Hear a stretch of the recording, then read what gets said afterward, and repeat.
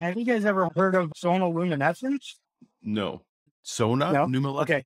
Sonoluminescence? Yeah, it's called sono, sonoluminescence. Yeah.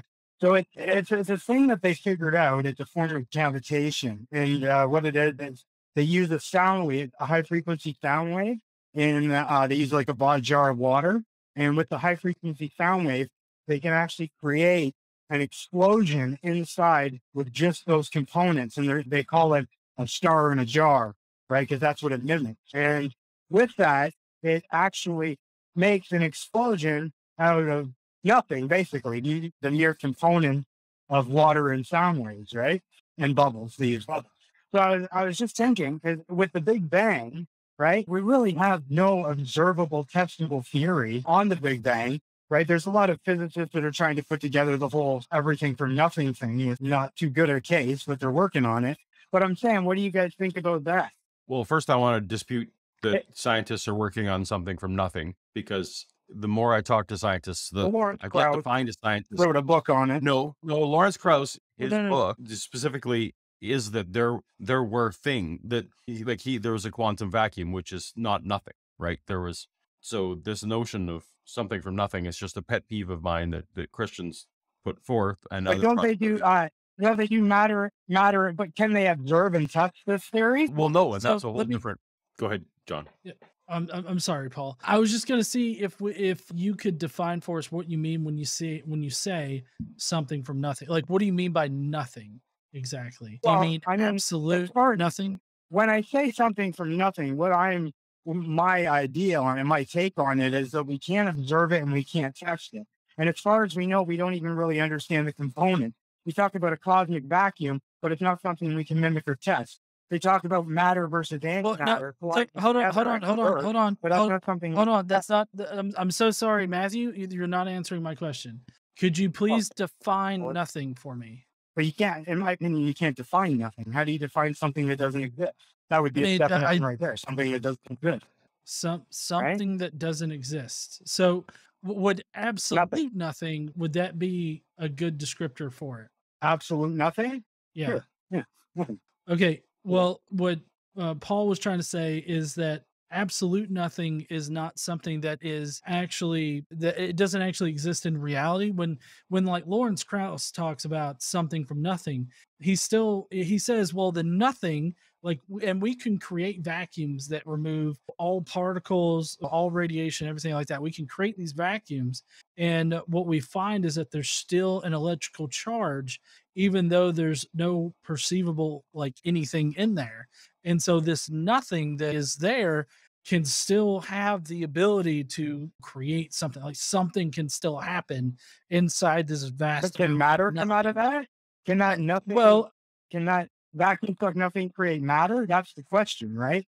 Everything Well, I mean, do you want me to explain it to you? Matter from nothing. Yes, of course. Oh, okay. Well, if you were to look at the current leading hypothesis about the beginning of the universe, what happened is is this uh, quantum scalar field. It was in a false vacuum state, and for whatever reason or no reason at all, we're not even really sure, but it fluctuated from a false vacuum state into a true vacuum state. And when it does this, it releases an immense amount of energy. And this immense amount of energy that's released it is the inflation event of the universe. So it's not like you know Big Bang is kind of a misnomer. It's actually the the inflation event. And so it in, the universe inflated, and all these uh, with all these inflaton particles that was is just energy. It's ju- it's all just energy. So this energy is released, and then it's transformed into what would eventually become matter that we have today, like the atoms and all of that. That's the current leading hypothesis, and it's it's all based in just energy changing forms. And we definitely can test for energy being released by the fluctuation of a quantum scalar field from a false vacuum state into a true vacuum state. We we know that that can happen, and when that does happen, an immense amount of energy is released, and that's how you can get a quote unquote universe from nothing. Okay, so this is like you said, within that- hypothesis, right? Yes, It's, a, it's an evidence Well, we're trying, what we're trying to clarify right? is that we're trying to clarify that no, the scientists that you're, like, people are not positing that matter came into existence, and matter and already of course, existed. you know, are, are different forms of the same thing. So, I just wanted to just wanted to clarify that what you are talking about is not something that is actually actively posited. I would agree with you when you say that these are not things that So, so okay, I'm we just can go back to and keep up with you guys. yeah, So- test it in a lab. The one guy said, yeah, the one guy said that it's energy, right? And the energy expands, or, or however you worded it. And Mhm. you're saying that it's beginning with math, right? No, I'm saying that matter matter is a matter to state of begin with. matter and energy are the same thing. Right. That's E equals MC So squared. Matter, ma- matter is physical, right? Energy is not physical. But that you know that they're you know that they're different states of the same thing, right? So you can get rocks out of energy. I mean, uh, I potentially. can't, but it but that but event the rock do it by the rocks uh, yes ma- they scientists can absolutely energy becomes energy becomes molecules all the time so i don't know what you're and then those molecules eventually will collect and some might become a rock. So you're saying that that energy will create solid, will create molecules that will that will create solids, and this is testable and observable. yes. Yeah, matter so- like so that- where that's- was you that know that you know that begin e you know that e equals mc squared energy equals that's that's a famous equation you're familiar with right Einstein, yeah. Yeah. E is energy and M on the other side is mass, which is you know the what when matter is. The E equals mc squared is the theory, right? It's a well, it's a scientific theory, yes. In the in the not in the hypothesis version, it's a I mean, scientific theories is yeah, scientific theory is is pretty much as close as you can get to like absolute fact as you can be. Um, as, But that was always as science fact, right? goes. Feels short of that. See, a, a theory, even in science, No, no, no. talking what a theory is, science, it, it's still an evidence-based guess, right? But a fact is that step over where it's evidence-based proof, right? An That's why we call evidence-based guess is a hypothesis. Hold, hold on, hold on, Matt, Matthew, Matthew. An evidence-based guess is a hypothesis. Like a, uh, scientific theory Oh, that's is uh, it, it- Hypothesis is an educated guess. It's not an evidence-based guess. A theory is an evidence-based guess, and a Mm. fact is an evidence-proved proved theory, right? n- not in a Richard scientific Dawkins sense. No. explains this really well. Mm.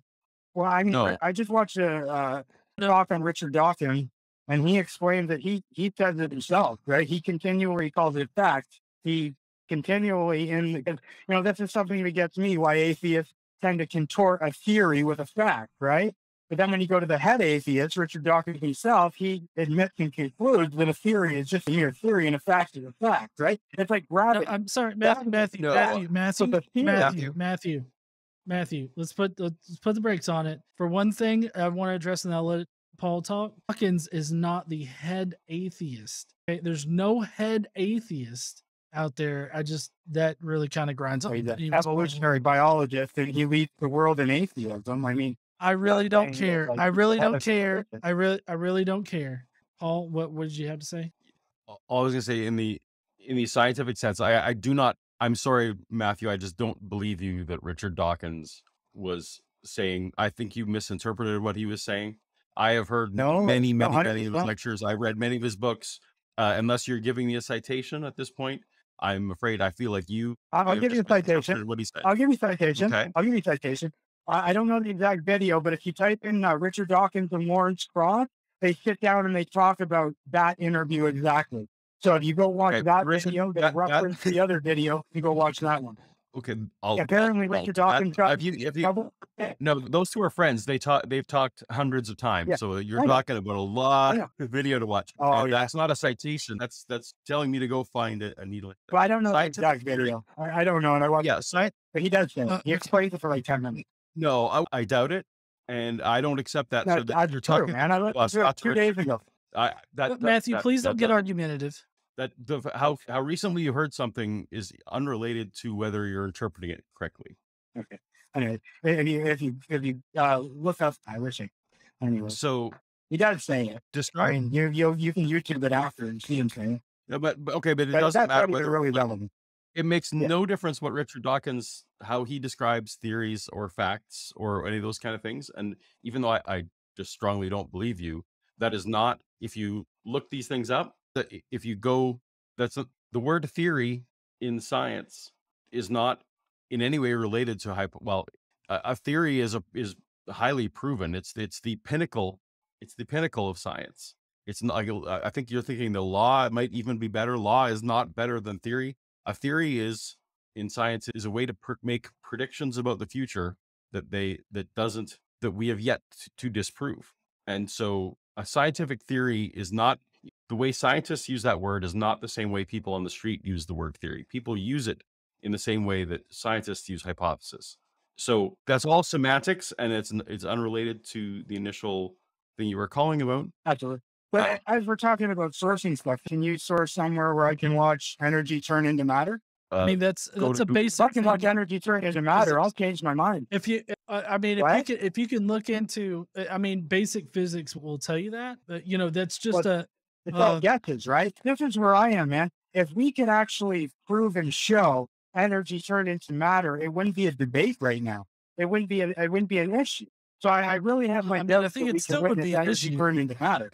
So Not if we could witness it. If that would solve, I- if we could witness energy So you just told me. So you just told me to Google Lawrence Krauss and and Richard Dawkins. Have you ever Googled turn energy into matter? No, but I've I've watched quite a few debates on the topic of the Big Bang. No, but- no, but have you? a you've not gone to Google Scholar. You've not attempted to look into scientific No, literature. no, I've, I've never done that. videos and debates as your. So I'm assuming that it doesn't here. exist because of a debate. I will for sure. I will do that. Yeah. uh, when you're done here, please like and go look into the fusion in the sun, or go look into how nuclear reactors work. There's so many things that, that so many te- technologies we've built based on converting energy to matter that I really feel like if you just go look that up and then call us back next time after you've looked that up, and if if that's if what we're saying doesn't hold water, I'll then call, I'll call next week. Hey, will you guys You still- go look up sonoluminescence stuff? yes, I will. I was actually Okay. trying during the show, and I actually wasn't seeing any results come back, so I'm wondering if I'm. But I I think uh, Star in a Jar on YouTube. I mean, you can you can find it. It'll come up. Yeah, you check that out. I'll go check that out, and I'll call you guys next week. Then. sounds good. all right. All Well, right, we will thanks. see you later, Thanks. Matthew. Thank you. Okay. Woo! Wow, that was interesting. Sorry, we got into some weeds there. We also he hit on a few things that just really bugged me. Yeah, and it's just it, it's it's crazy like the fact because I really wish he could have you know defined what nothing was you know, like earlier or something because I don't know I feel like he's really getting hung up because look the thing is is that he wasn't looking for like fusion or anything like that what he's he was literally looking for like being able to take maybe the heat given off by fire and turn it into bread or something and created that. I feel like that's the direction that he was going. Like he was wanting to take energy and then turn it into something organized like what we have now.